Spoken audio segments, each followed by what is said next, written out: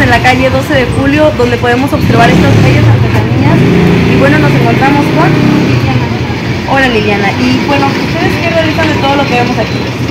Pues en Tapayuca se realizan más que nada los morrales, canastas, respaldos y pues una y otra bolsa. ¿Y tú qué realizas de lo que vemos aquí? ¿Qué es lo que tú haces? ¿Qué detalles le pones a, a las cosas, a los morrales? Bueno, pues nuestra familia, que nos hemos dedicado tres años a esto, eh, hacemos lo que es la reventa más que nada. Terminamos decorando algunos productos como las bolsas o bordando algunos morrales, pintándolos a mano o decorando con flores de hoja de maíz.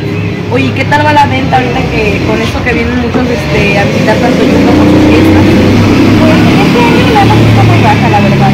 En años anteriores en los que nos han permitido ponernos en la calle que va hacia el parque, ha estado muy buena la venta, pero esperemos que mejore ya con el 1 o 31 unidos, que es cuando vemos más realce de, de gente turista más que nada, que viene y nos adquiere nuestros productos. Más que nada viene por los morrales, porque pues, se ha hecho muy famoso en cuestión de que es algo muy huasteco, ¿no? Bueno, ¿y en qué horario te encuentras tú aquí en tu negocio?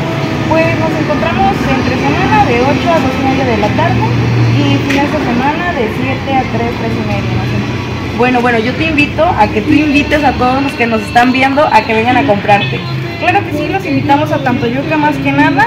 No solamente me encuentro yo en esta parte la 12 de julio, nos encontramos vendedores de cuero, de hoja de maíz, de palmas, apupe, encuentran una gran variedad, más que nada para pues recordar nuestro nuestra entidad huasteca o bueno, Tantoyuca más que nada que ahorita vienen las fiestas de Chantolo y se pone muy padre. Yo los invito a asistir.